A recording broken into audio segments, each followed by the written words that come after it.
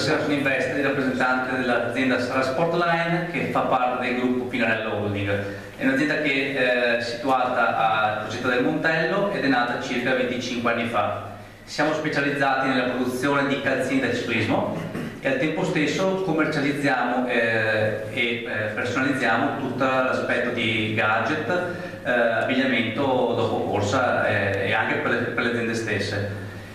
Chiaramente se dovreste aver bisogno di bicicletta non dimenticatevi di noi.